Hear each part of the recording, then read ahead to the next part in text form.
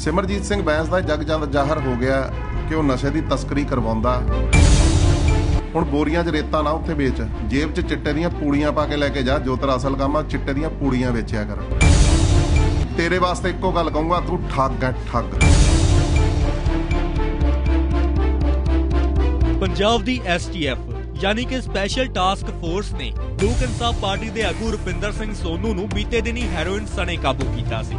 ਜਿਸ ਤੋਂ ਬਾਅਦ ਇਹ ਕਹਿਣਾ ਅਤਕਥਨੀ ਨਹੀਂ ਹੋਵੇਗੀ ਕਿ ਬੈਂਸ ਭਰਾ ਵਿਰੋਧੀ ਧਿਰ ਦੀ ਜੜ ਥੱਲੇ ਆ ਗਏ ਹਨ ਐਸਟੀਐਫ ਵੱਲੋਂ ਰੁਪਿੰਦਰ ਤੋਂ ਪੁੱਛਗਿੱਛ ਕੀਤੀ ਗਈ ਤਾਂ ਉਸਨੇ ਵੀ ਮੰਨਿਆ ਸੀ ਕਿ ਪੈਸਾ ਕਮਾਉਣ ਲਈ ਉਹ ਹੈਰੋਇਨ ਵੇਚਦਾ ਸੀ ਅਤੇ ਹੁਣ ਸਵਾਲ ਉੱਠਦਾ ਹੈ ਇੱਕ ਪਾਸੇ ਬੈਂਸ ਭਰਾ ਖੁਦ ਨੂੰ ਇਨਕਲਾਬੀ ਕਹਿੰਦੇ ਹਨ ਪਰ ਹੁਣ ਆਖਿਰ ਕਿੱਥੇ ਗਿਆ ਉਹਨਾਂ ਦਾ ਉਹ ਇਨਕਲਾਬ ਅਤੇ ਸੱਚਾ ਸੁੱਚਾ ਹੋਣ ਦੇ ਉਹ तमाम ਦਾਅਵੇ ਦੂਜੀਆਂ ਪਾਰਟੀਆਂ ਤੇ ਨਸ਼ਾ ਤਸਕਰੀ ਦਾ ਇਲਜ਼ਾਮ ਲਗਾਉਣ ਵਾਲੇ ਖੁਦ ਚਿੱਟੇ ਦੀ ਤਸਕਰੀ ਦੇ ਮਾਮਲੇ 'ਚ ਘਿਰੇ ਹਨ ਇਹ ਸਵਾਲ ਅਸੀਂ ਨਹੀਂ, ਬਲਕਿ ਬੈਂਸਾ ਦੇ ਵਿਰੋਧੀ ਧਿਰ ਦੇ ਆਗੂ ਪੁੱਛ ਰਹੇ ਨੇ।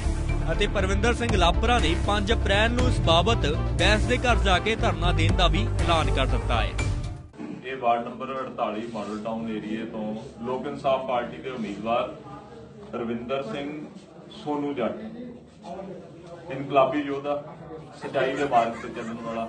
24 ਘੰਟੇ ਤੁਹਾਡੇ ਦੇ ਵਿਚਰ ਕੇ ਸੇਵਾ ਕਰਨ ਵਾਲਾ ਮੈਂ ਜ਼ਿੰਮੇਵਾਰੀ ਲੈਂਦਾ ਜਹਦਾਰੀ ਜ਼ਿੰਮੇਵਾਰੀ ਲੈਂਦੇ ਐਂਡ ਮਾਡਲ ਟਾਊਨ ਏਰੀਆ ਦਾ ਬੇਬੇ ਨਾਨਕੀ ਰੋਡ ਦੇ ਨੇੜੇ ਜੰਮਪਾਲ ਉੱਥੋਂ ਦਾ, ਰਹਿਣ ਵਾਲਾ ਉੱਥੋਂ ਦਾ।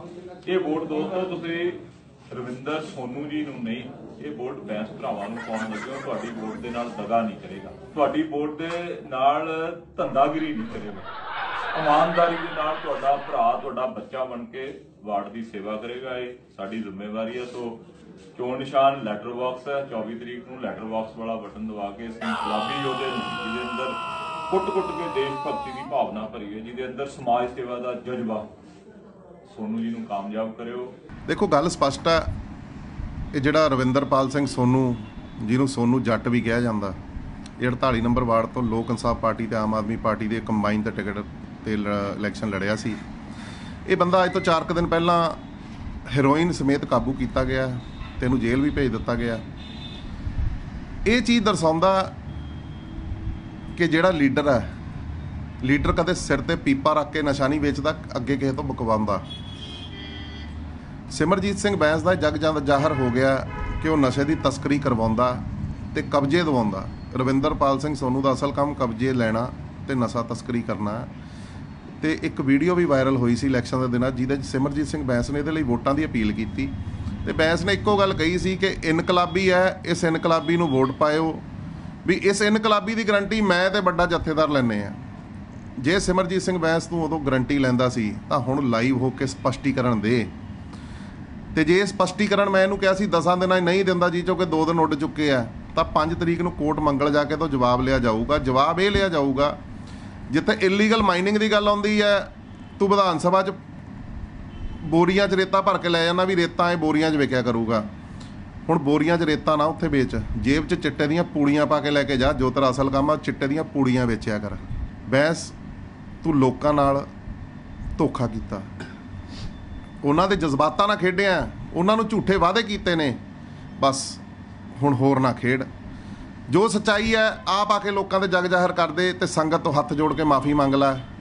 ਤੇ ਜੇ ਤੇਰੇ 'ਚ ਥੋੜੀ ਜਿਹੀ ਵੀ ਨੈਤਿਕਤਾ ਬਾਕੀ ਹੈ ਤਾਂ ਅਸਤੀਫਾ ਦੇ ਦੇ, ਕਿਉਂਕਿ ਪਿਛਲੇ 6 ਸਾਲਾਂ ਤੋਂ ਆਤਮਨਗਰ ਤੇ ਹਲਕਾ ਲੁਧਿਆਣਾ ਸਾਊਥ 'ਚ ਐਮਐਲਏ ਦੇ ਕੋਟੇ 'ਚ ਇੱਕ ਵੀ ਨਵੀਂ ਇੱਟ ਨਹੀਂ ਲੱਗੀ ਤੇਰੇ ਤੋਂ। ਜੇ ਤੂੰ ਇੱਕ ਵੀ ਨਵੀਂ ਇੱਟ ਐਮਐਲਏ ਦੇ ਕੋਟੇ 'ਚ ਲੱਗੀ ਦਿਖਾ ਦੇਵੇਂ, ਤਾਂ ਮੈਂ ਰਾਜਨੀਤੀ ਛੱਡ ਕੇ ਘਰੇ ਬਹਿ ਜਾਊਂਗਾ।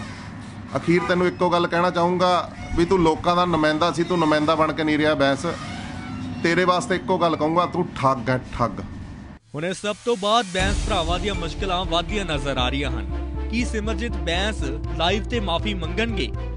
ਜੇ ਨਹੀਂ ਤਾਂ ਦੇਖਣਾ ਹੋਵੇਗਾ ਕਿ ਹੁਣ ਆਉਣ ਵਾਲੀ 5 ਅਪ੍ਰੈਲ ਨੂੰ ਆਖਿਰ ਹੁੰਦਾ ਕੀ ਹੈ। ਲੁਧਿਆਣਾ ਤੋਂ ਤਰਸੀਮ ਭਾਰਤਵਾਜ ਦੀ ਰਿਪੋਰਟ ਡੇਲੀ ਪੋਸਟ ਪੰਜਾਬੀ